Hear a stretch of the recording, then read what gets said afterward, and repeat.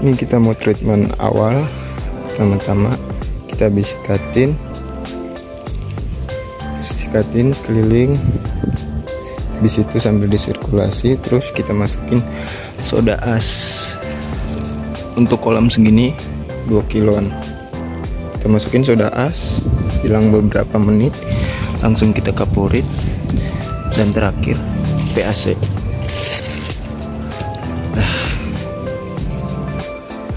kolam hijau.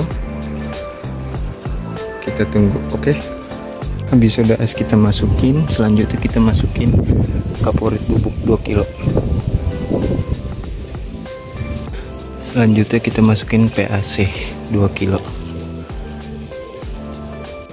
Kita tinggal tunggu pengendapan nah kalau udah begini berarti tanda tinggal vakum udah turun semua. Kotorannya udah turun semua. Ini baru satu kali vakum. Satu kali lagi vakum. Baru kelihatan. Gurih-gurih nyoy